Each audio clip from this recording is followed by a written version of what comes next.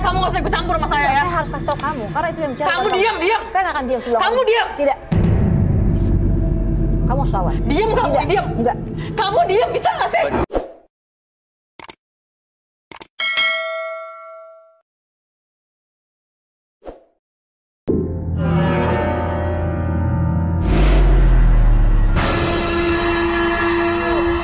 Banget gitu. Saya nggak suka. Suka dipegang dia. Ya tapi itu maksudnya baik loh. Nggak ada maksud untuk menyakitin. Badui kenapa nangis? Kenapa? Kenapa tiba-tiba sedih kayak gini? Kenapa? Saya keinget suami saya. Dia yang ngebuat ini semua. Tapi suaminya tuh dilihatnya. Menurut aku ya, Ini sebenarnya yang mau pisah Mbak Dwi atau keputusan bersama sebenarnya? Saya yang mau bisa. kasihan loh Boy. Terkadang orang terjebak dalam cinta yang Cinta yang seperti ini ya. Kayak begitu sehat. ya. Tapi maksudnya udah sulit karena sudah dalam satu ikatan pernikahan mungkin ya. Dia pengen lepas, tapi suaminya gak deketin orang tuanya. Kecewa sih, jadi stres depresi bisa. Ya itu mungkin karena mungkin nggak mau pisah Mas Bayu. coba kalau saya yang ini ya. Aku sorry nih bukan kamu deket nih, tapi aku takutnya Iya, dia tidak iya. bersahabat sama aku. Dan tenaganya sangat besar banget. Iya. Gak mau nanti malah kamu kenapa-napa lagi. Semua yang udah terjadi, terjadi. Kesalahan fatal di masa lalu, sudahlah biarkan. Menanam karma baik ya yang berhubungan dengan yang lain itu, ya. Saya tahu loh dia depresi dan Ya stres. pasti. Oke, ini pelajaran bagi siapa pun yang punya rencana atau masih pasang susuk bahwa kalau pasang susuk sebenarnya nggak menghasilkan kebahagiaan, justru Enggak. malah memunculkan penderitaan seperti ini. Iyalah, Secara batin tersiksa banget. sangat. Dan secara nyatanya mungkin jadi tim, eh, kebalik ya dengan Iya. apa yang niat kita ya. Itu dia jadi terbalik. Niatnya ke mana, yang terjadi justru sebaliknya. Oke, Saya gimana mau- ngilangin susuk pengaruhnya ini, Roy? Iya, saya mau menghilangkan pengaruh susukunnya ini juga. Saya ingin membawa dia ke ruangan mediumisasi. Ya, ke ruang mediumisasi ya. Oke Mbak Dwi, kami akan ajak Mbak Dwi ke ruang mediumisasi, diikutin aja dulu prosesnya ya. Em, Roy akan mencoba untuk menghilangkan pengaruh susuk yang masih ada di badannya Mbak Dwi. Nah, kita lihat dari situ mudah-mudahan ke depannya Mbak Dwi justru bisa mendapatkan kebahagiaan. di sini masih Ya. banyak orang-orang. Ini dibawa ya Mbak Dwi ya. Ke mana? Ini dibawa, terus kita akan jalan ke sana. Salah. Eh, Hebat. tapi saya mohon dan tidak terkendali ya. Jangan sampai Eh, kamu dia terkendali kalau atau enggak mungkin Nah, dia nggak bisa kontrol baik. di luar sadarnya dia ya. Itu dia. Oke, oke, ya. Jadi eh, kalau Mbak Regina nanti berusaha untuk membantu dan kalau misalnya Mbak Dwi nyadar ada bisikan atau ada perasaan yang ingin menyerang sekuat tenaga kami mohon untuk dilawan ya. Dilawan, Jangan ya. sampai justru malah Pasti Mbak Dwi bisa kok. Bisa pasti bisa. Sekarang kita punya kuasa apa yang terjadi di badan kita sebenarnya. Sudah bisa ke sana? Kita berangkat?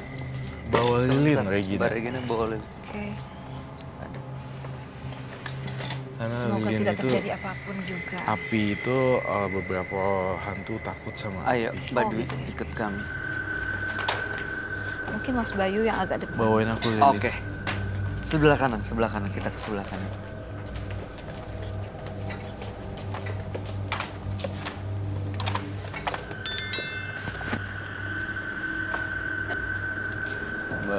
Dwi masih benci sama dia. Saya nggak suka dia ngomong. Ya udah saya Kenapa? diam ya. Kenapa nggak sukanya? Dia tuh lonte.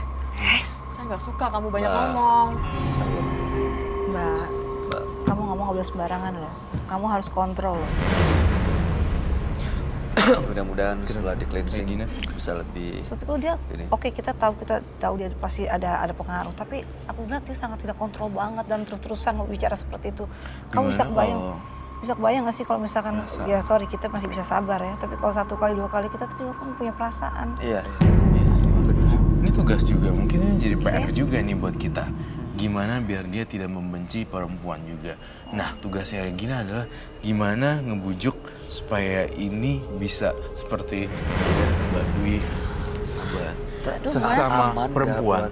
aku tuh selalu aku aku merasakan Mas Roy bukan aku tidak membantu dia tapi memang dia dari dari di apa pun juga sel- mungkin sebelum itu diambil dia tidak merasa bahwa aku adalah ancaman karena aku mungkin Iya. perempuan ya karena masih ada pengaruh-pengaruhnya kasihan tapi kalau melihat seperti ini kita jadi kita kan hidup di di- Diam kamu diam. coba mbak Hey. mbak mbak Dwi mbak Dwi.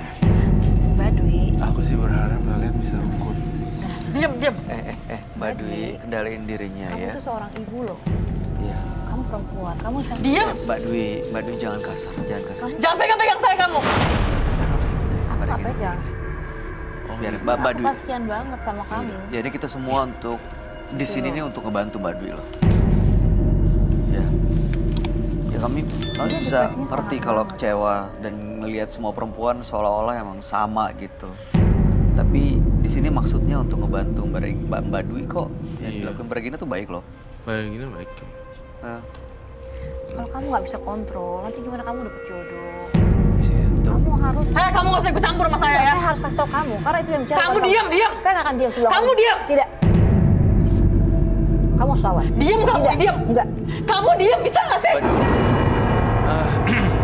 Balik ke topik saya. Eh, Mbak Dwi, saya pengen nanya, ini isinya apa aja ya?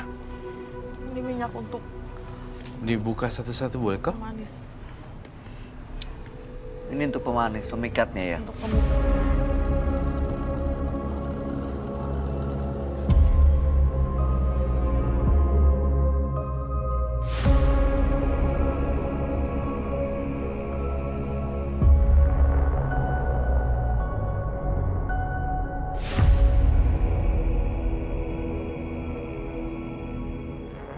Hampir setiap malam. hampir setiap malam untuk apa Untuk biar dilihat orang biar ada pemikat saja gitu.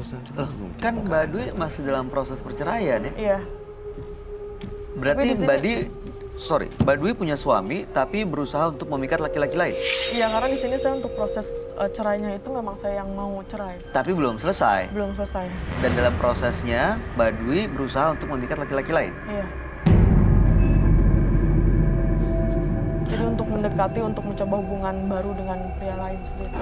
Mungkin ada kesamaan cerita antara, antara Regina dulu kisah cintanya yang buruk, kemudian eh, mungkin punya pengalaman yang bisa di-share ke dia. dulu juga mungkin aku juga pernah uh, uh, mungkin dia pernah nggak suka dengar cerita Regina. Oke, Mbak Dwi sorry ya. Aku dulu pernah juga sama mengalami kekecewaan yang sangat sangat sangat dan bukan satu kali dua kali mungkin dengan namanya laki-laki dan saya sudah tidak percaya dulu dengan laki-laki.